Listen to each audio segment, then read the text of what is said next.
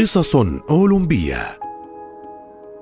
لاعب الجودو المصري الذي جسد الروح الرياضية بأبهى صورة.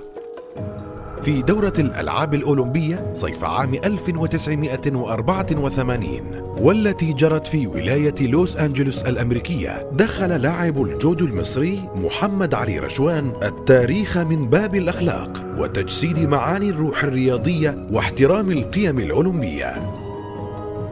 تأهل رشوان إلى نهائي الوزن المفتوح لمنافسات الجودو في تلك الدورة ليواجه الياباني ياماشتا ياسوهيرو والذي كان وقتها من أشهر لاعبي الجودو على مستوى العالم.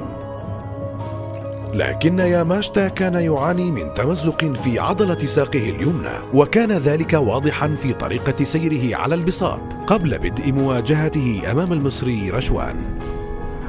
محمد علي رشوان رفض في ذلك النزال مهاجمة اللاعب الياباني باتجاه ساقه المصابة وذلك احتراما لإصابته وتجنبا أن يتسبب ذلك في تضاعفها. ليخسر رشوان الميدالية الذهبية ويكتفي بالفضية لكن أخلاقه جعلته أيقونة حقيقية لمبدأ الروح الرياضية في دورة الألعاب الأولمبية. مؤخرا كرم محمد علي رشوان من اليابان بوسام الشمس المشرقة تقديرا لموقفه النبيل في أولمبياد لوس أنجلوس عام 1984